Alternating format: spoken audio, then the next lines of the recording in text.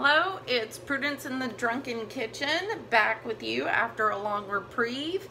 I um, had said my next video was going to be risotto, but I don't have risotto tonight. I do have some rice for my recipe, but it's weirdly a Prudence thing. A Prudence with a large family thing that I'm reusing rice in a different way.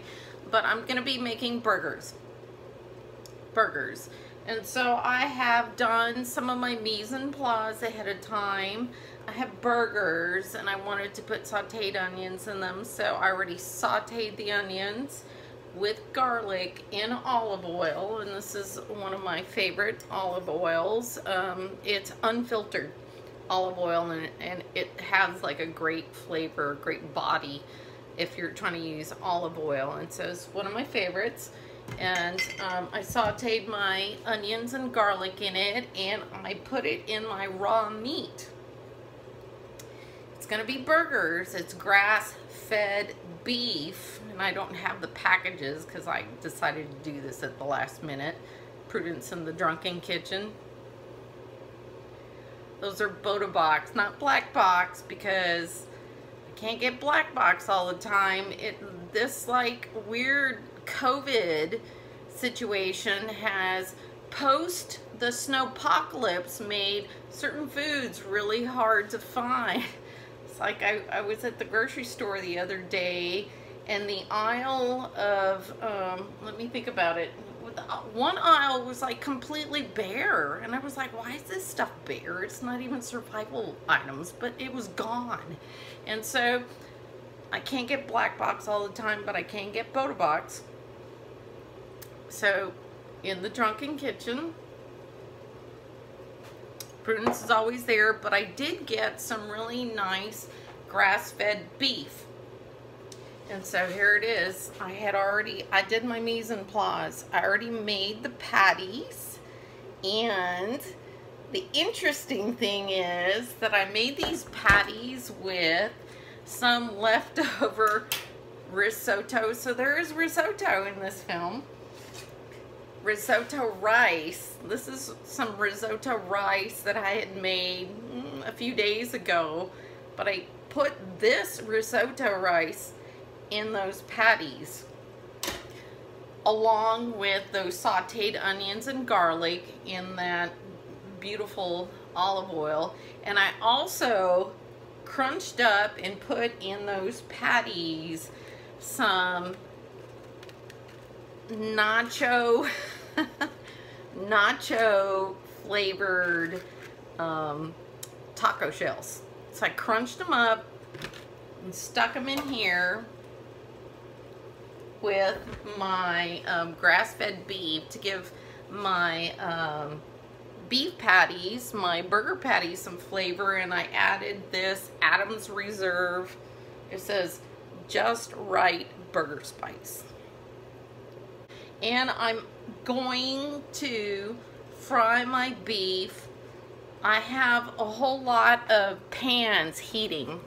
I'm going to show you.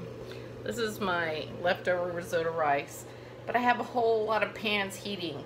I'm going to cook my patties over here, and I'm going to saute mushrooms over here, but over here, I think I'm going to make some cheddar cheese crisps where you just put the cheese on the heat and it melts down into a nice little crunchy item and make them round. And they'll be toppers like cheese toppers. Instead of cheese slices it'll be cheese crisps with these nacho cheese crunchies inside the burgers in the burgers with the sauteed mushrooms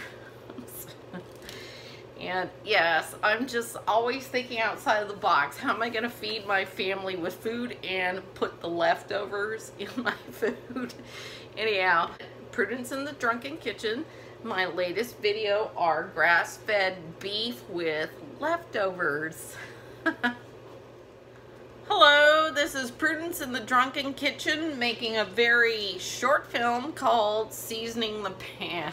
I am making burgers, these wonderful burgers over here, and I had all these pans that are on my stove. All these pans and all these pans are primed and ready for food, but I had to season the pan. Two of these are cast iron and the other one is non-stick, but you still have to put something in there. Non-stick is non-stick is okay, but I still season my pan.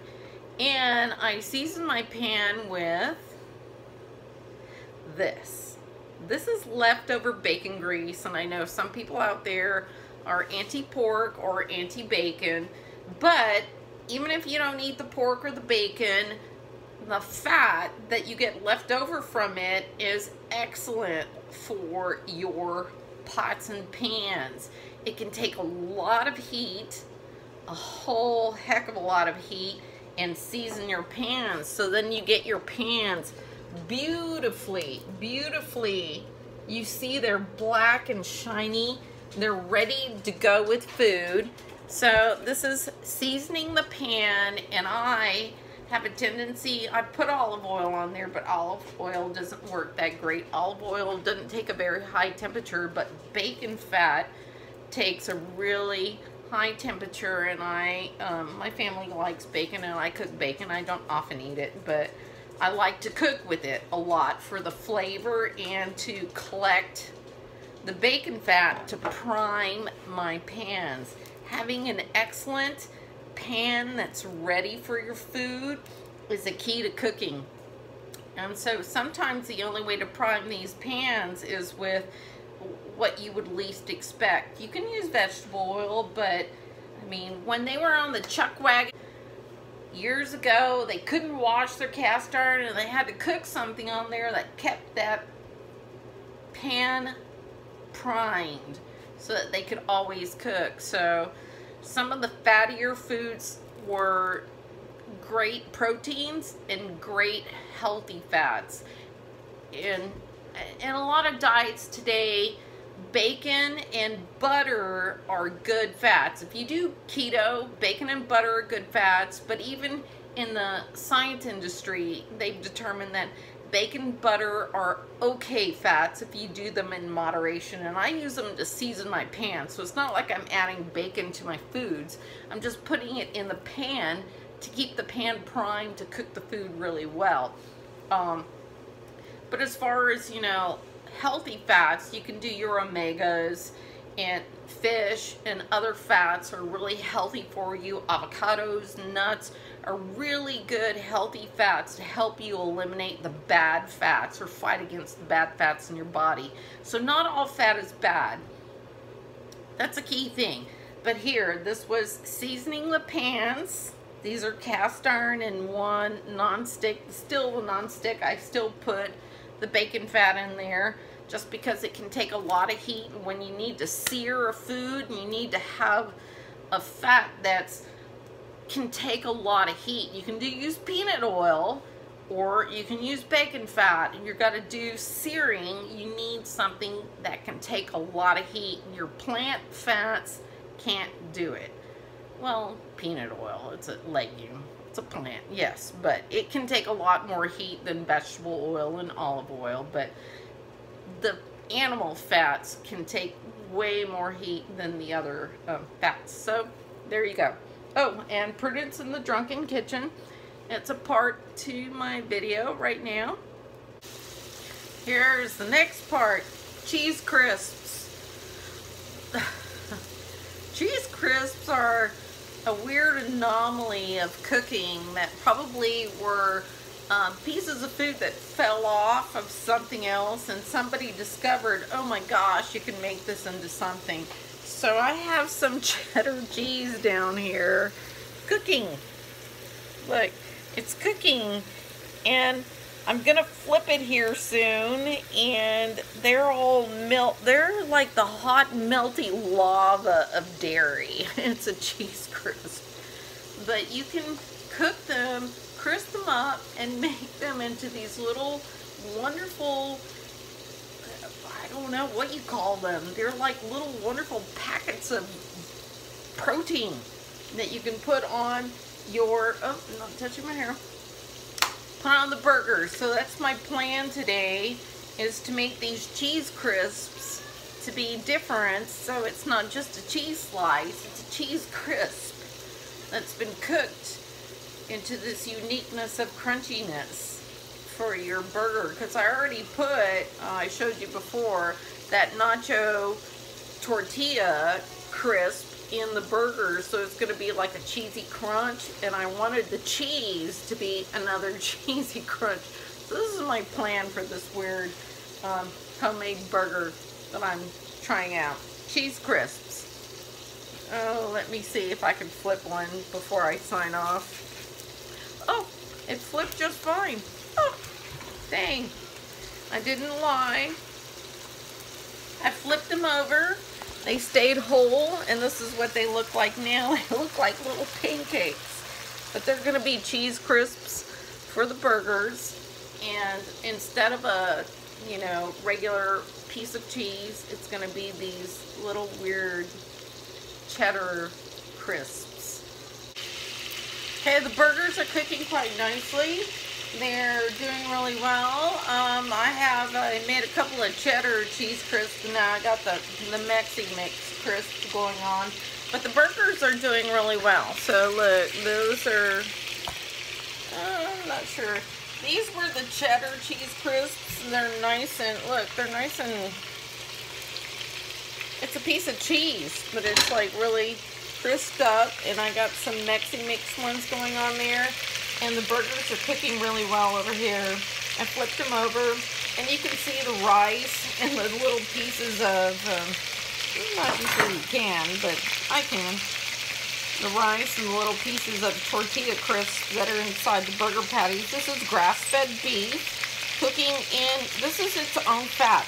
I did not add anything to this pan. It was just seriously hot I primed it with a little bit of bacon grease to just grease it so nothing sticks. But this is all the fat that's come off itself. The only meat come off the meat and it's frying it itself up nice. Cooking feverishly here for you guys in the Drunk 'n Kitchen. It's going to be uh, burgers and Kaiser rolls. I got, oh, Kaiser buns. These are Kaiser rolls. And they're like mini buns, so they're going to be kind of like a little bit bigger than sliders, a little bit smaller than traditional burgers. So, in between, like two-thirds, three-quarters, I don't know what you want to call it, but they are Kaiser rolls. I like Kaiser bread a lot. Um, I won't be eating the bread. I'll be just, I probably won't be eating anything I could. it is not the healthiest food alive. Prudence in the Drunk 'n Kitchen. I try not, well, I cook for my family. That's all I should say. On this segment, oh, it's a little crooked. We're going to do sauteed mushrooms. Mm, it's a little still crooked. No, that's all right. Sauteed mushrooms. So in one of those pans that I primed with bacon fat, the one that's back here, look, I got a, uh, the last burger cooking there and the cheese crisps are done. But this last pan back here is where I'm to make the sauteed mushrooms. And so I primed it with bacon fat. And I've been like called out over life on my sauteed mushrooms because I have children who like the mushrooms sauteed in butter. So I didn't do butter. I put, I primed the pan with bacon fat. It's got barely any bacon fat in there. And I've sauteed mushrooms in olive oil before.